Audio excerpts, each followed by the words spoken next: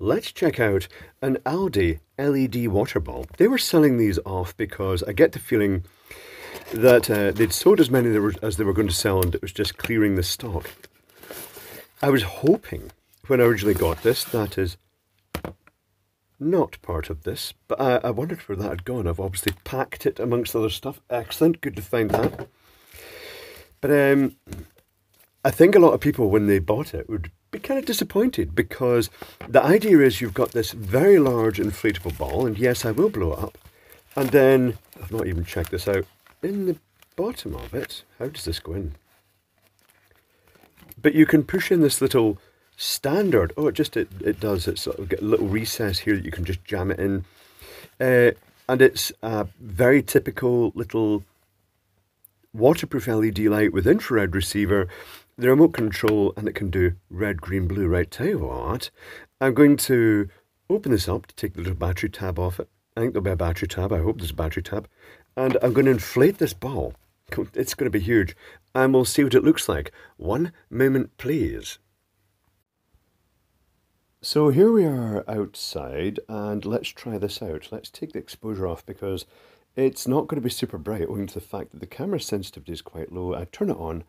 It's not actually too bad. It's quite visual, but it's not really going to work in a bright area. But we've got red, green, blue, white, um, and we've got various oh, psychedelic colour changing options.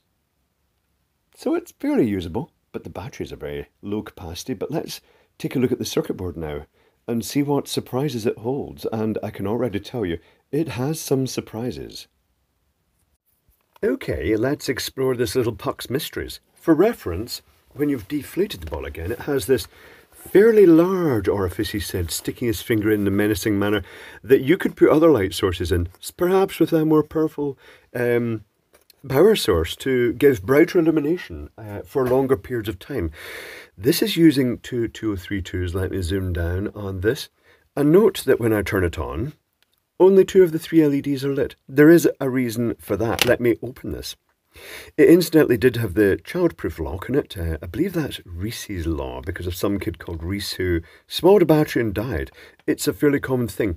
If you have kids or you come across a kid that has swallowed a button cell, it doesn't matter if it's a little alkaline cell or one of these, pretty hard to swallow these, uh, that requires medical attention immediately because it causes an electrolytic action that can actually damage the intestines quite significantly and very quickly. So that has to be dealt, with immediately.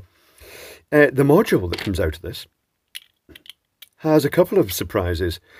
One of the first surprises, I don't know if you're going to see this, I shall uh, focus up to here and zoom. This LED is, it's upside down. It's not supposed to be up that way. That's why it was not lit. Also, see this fingerprint and flux. There's a diode just splashed on up there. Um, other than that, it's a fairly sensible design. Right, let's go back down. So I was wondering actually, because it seems to use a fairly standard uh, remote control, will this work with other remote controls? I have one right here next to me. And then I'll uh, take a photo of that and reverse engineer it.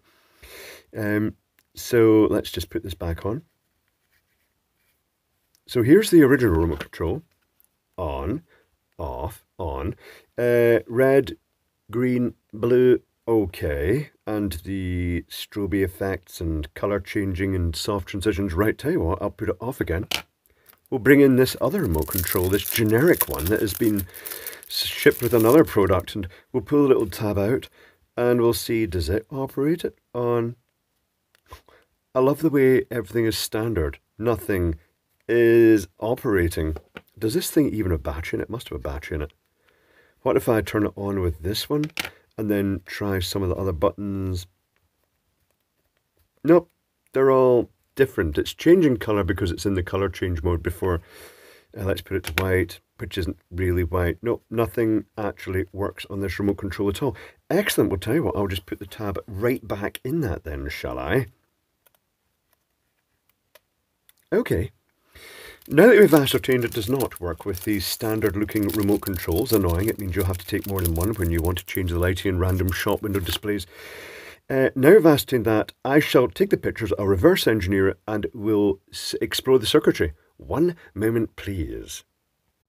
Reverse engineering is complete. Let's explore. So I shall zoom down a bit in this. The first thing you notice in this circuit board, apart from the fact this LED is upside down, I have since dropped the circuit board and the LED pinged off, so the LED can now be soldered on the correct way around. It was just stuck with flux, probably.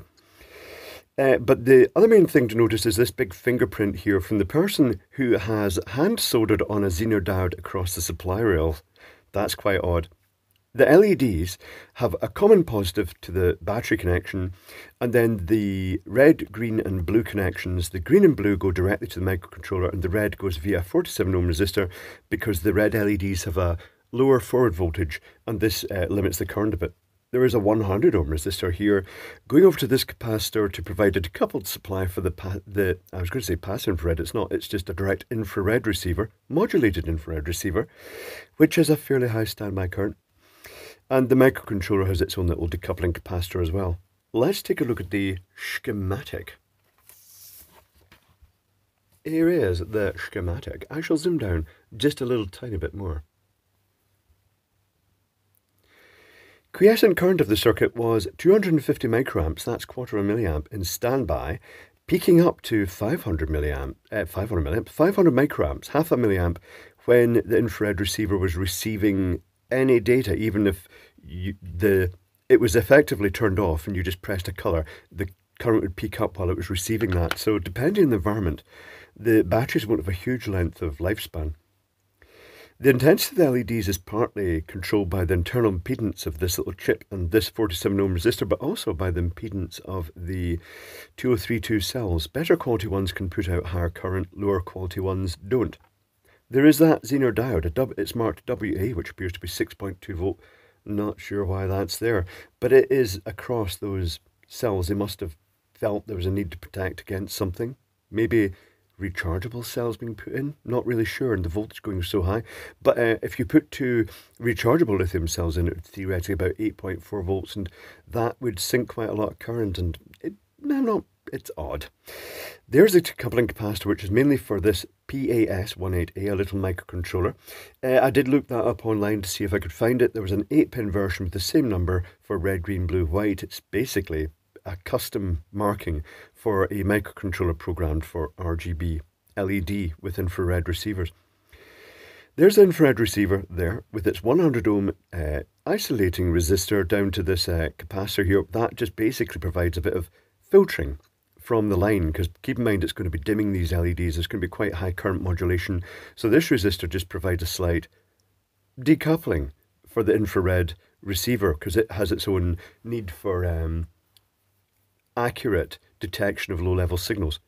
Its signal output goes to the microcontroller and then it controls the LEDs. That is it.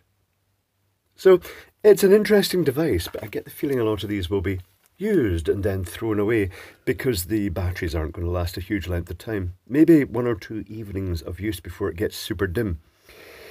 But having said that, the this little module is useful in its own right and also, as mentioned earlier on, this uh, inflatable ball does have this port inside which you could actually put your own higher power light source into to make a brighter bulb.